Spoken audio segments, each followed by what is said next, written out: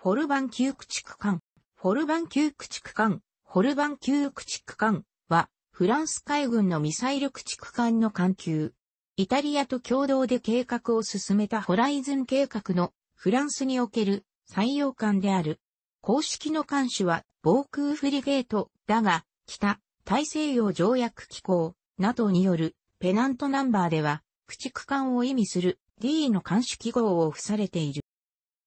1980年代後半、NATO 加盟8カ国の海軍は NFR-90 構想の下でフリゲートの国際共同開発計画に着手した。フランス海軍もシュフラン級駆逐艦の更新を狙ってこの計画に加わっていた。しかし計画の過程で各国の要求事項の際が顕在化し、1989年にイギリス、フランス、イタリアが相次いで計画から離脱した。残る5カ国は計画の続行を試みたものの、1990年1月18日、計画のキャンセルが決定された。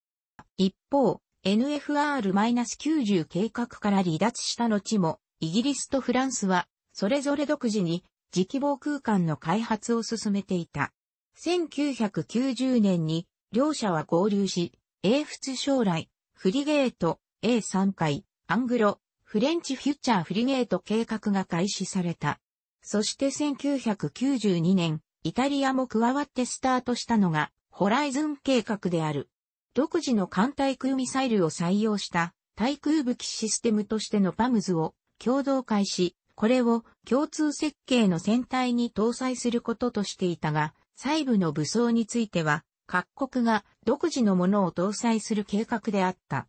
船体設計の意見の相違から、1999年にはイギリスが脱退したものの、パムズの開発には残留した。その後、フランスとイタリアのみで計画は続行され、完成したホライズン型防空フリゲート、旧称のフランス側の建造艦が本級である。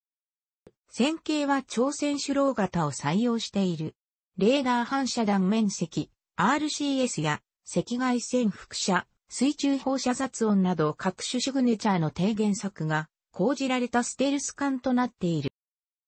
当初、ホライズン計画艦は先進的なコドラック方式の採用を検討していた。この計画ではガスタービンエンジン2機とディーゼルエンジン4機で交流発電機を稼働させ、この電力によって電動機が駆動することになっていた。しかし1990年代中頃には他の方式も模索されるようになっており、イギリスが離脱した後、結局、ホライズン計画艦には、最も技術的リスクの少ないコドック方式が採用されることとなった。なお、イギリスは逆に、コドラグ方式より、さらに先進的な統合電気推進 IEP を採用している。本級では、巡航機としてセムットピルスティック 12PA6、STG ディーゼルエンジン、短期出力 5800bhp、高速機として、フィアット、ゼネラルエレクトリック LM2500 がスタービン、31280、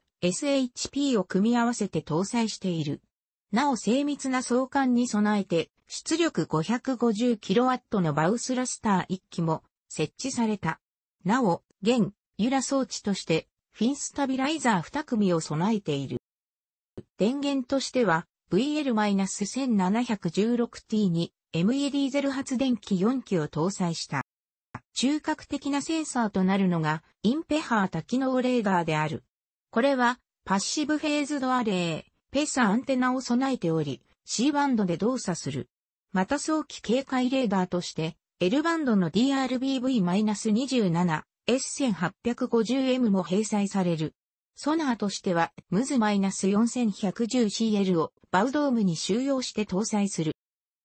戦術情報処理装置は、セネット -8.05 を元にしたシークである。これは、原子力空母、シャルルド・ゴールに搭載されたものと同系列であるが、式より統制に重点を置いているものであり、パムズ武器システムなど、艦のすべての武装の中核として、その光線を統制する。また戦術データリンクとして、リンク11.1416.22に対応する。衛星通信システムとして、シラキューズの SHF-EHF 対システム、インマルサットの UHF 対システムを搭載する。これにより、アプスマー式支援システムに対応している。上記の経緯より、本級の中核的な武器システムとして搭載されるのが、パムズであり、本級の搭載システムは、フランス・イタリア海軍の運用要求にのっとったもので、パムズの形式名で種別されている。その火力として用いられるのが、アスター艦対空ミサイル、サムであり、長射程型のアスター30と中射程用のアスター15がある。これらは48セルのシルバー A50VLS に収容される。また、近接防空用としてミストラルの6連装発射機1機の後日装備余地も確保されている。艦砲としては62口径 76mm 単装速射砲 76mm スーパーラピッド砲を採用し、先導甲板全部両端に1機ずつ設置した。放射撃式装置としては、X バンドの名 -25XP を全、症状部に装備する。また、近接目標への備えとして90口径 20mm 単装機銃、回にも搭載される。対艦兵器としては、エグゾセーム M40、ブロック2、または3艦対艦ミサイルの4連装発射機2機を装備する。対戦兵器としては MU90 単魚雷のため固定式の魚雷発射管2機を備えているが、ステルス性確保のため、普段はシャッター内に格納されている。また、対魚雷用のスラットも装備されたが、これは栄光式のあると魚雷警報装置とコントラアルトデコイ発射装置から構成されている。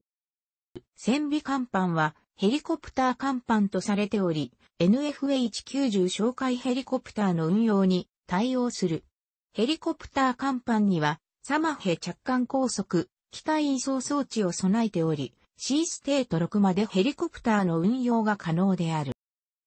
2000年10月26日にまず2隻が発注され、2002年4月8日には一番艦、フォルバンの工事開始、 steel cutting が行われた。当初はカサール旧駆逐艦の大艦2隻の建造も予定されており、2002年9月には3番艦の建造予算が認可されたものの、フランス海軍としてはもっと新しい設計を採用したフレム計画艦、後の秋艇の級の防空型を要望しており、2005年9月には3.4番艦の建造計画は放棄された。